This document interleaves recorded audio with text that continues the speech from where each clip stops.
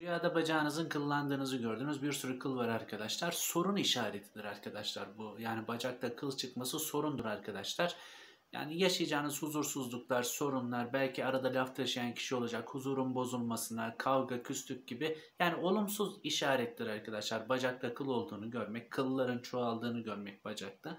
Yani saçın uzaması iyi de bacakta kılın olması iyi değil arkadaşlar. İyiye yorulmaz ve tabiri de gerçekten iyi değildir. Sorundur, strestir arkadaşlar. Kavga ortamıdır. Görüşürüz, hoşçakalın.